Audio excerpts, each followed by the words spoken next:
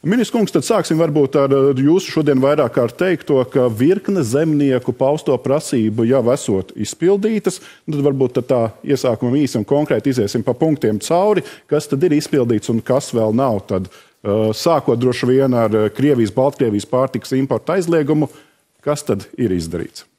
Jā, tad, tad attiecībā uz Krievijas un Baltkrievijas graudiem mēs esam sagatavojuši zemkopības ministra likuma projektu. Pagājušā pirmdienā valdība vienojās, ka šāds likuma projekts tiek sagatavots.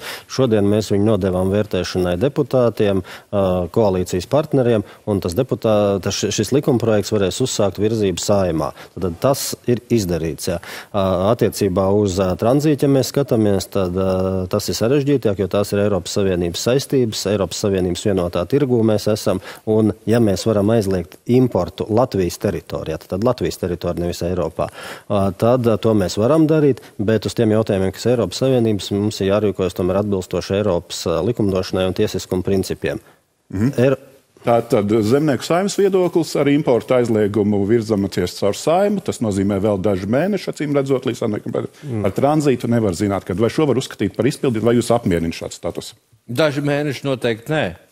Ja mēs pēc hokeja uzvaras varējām 5-6 stundās saimē nolemt par brīvdienas piešķiršanu, kur problēma šajā strateģiskā jautājumā saimai sanāk kopā un ātri, ātri to jautājumu atrisināt? Nē, tie nav daži mēneši.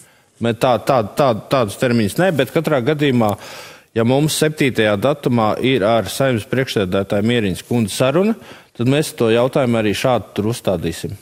Tas varētu iet saimē arī steidzamības kārtībā. Dažu mēnešu nebūs. Es domāju, ka tas ir steidzamības kārtā jāiet, bet nu, noteikti nevienas dienas laikā, jo tie juridiskie aspekti ir jāizdiskutē.